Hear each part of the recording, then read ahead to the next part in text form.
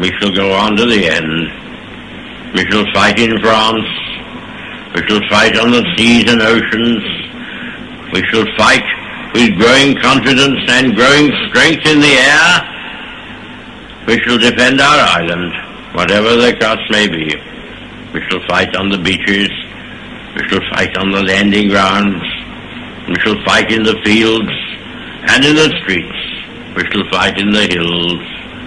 We shall never surrender.